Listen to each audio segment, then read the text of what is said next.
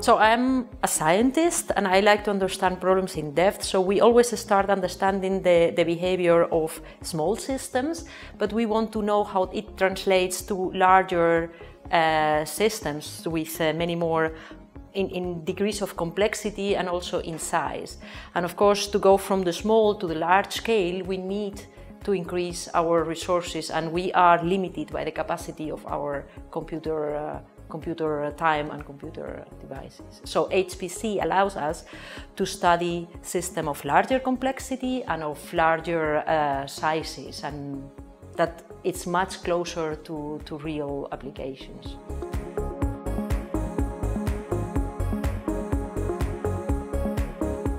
Well, I would say again that I do basic science. So I try to understand systems in depth, but we understand systems that can be built and that can be used. So uh, with this basic understanding, we try to see things that might develop new properties and that these properties will be able to, to be used in new materials or, or new devices that will hopefully find a, a way back to profit uh, society.